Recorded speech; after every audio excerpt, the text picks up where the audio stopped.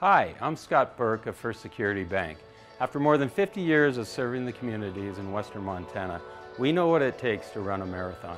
It means a strong commitment to your success, and we're with you from the starting line to the finish. It's time for a K-PAX Missoula Marathon training tip.